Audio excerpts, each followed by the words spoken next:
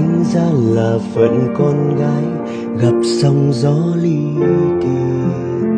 Khi em vừa tròn lên hai, nhìn em rất funny. Vì em tròn ôi đáng yêu, khắp xóm em thầm thì ghen tị.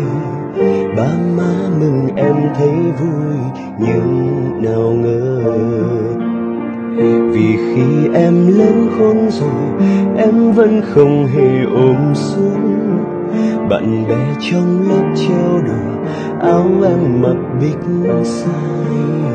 Rồi lặng người đến vô tận, trách sao được sự tàn nhẫn. Em trách ngóng trời, sao không ăn mà vẫn béo. Tuổi thanh xuân của em đã trải qua rất nhiều chông gai. Vì không ai là con gái mà dáng to tròn đến thế. Vòng eo năm sáu em thì không. Nhưng mỡ em thì đông ấm áp thịt thừa vây quanh. Em đã bao lần đứt nút, nhìn xung quanh. Toàn là trai mà đâu dám thầm yêu ai vì em béo, vì em xấu, ai dám yêu rồi dám cưới. Người ta chỉ thích như ngọc trinh không thích béo như là mình. Mưa trôi để lại em thôi, không có ai bên cạnh.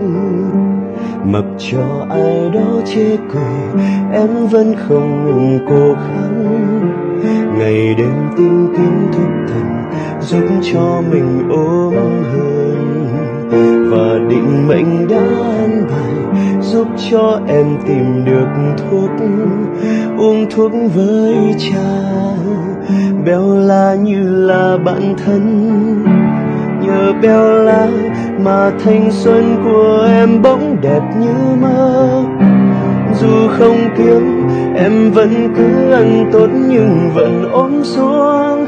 Vòng eo đã bé như ngọc trinh em với nụ cười xinh, ít nghèo giờ đã xuống hết.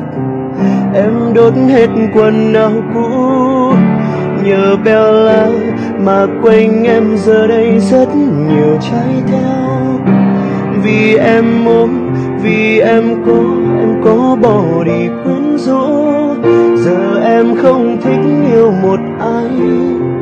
em mãi yêu mình, em con gái đẹp không yêu ai, cho mấy trai nó thêm vui.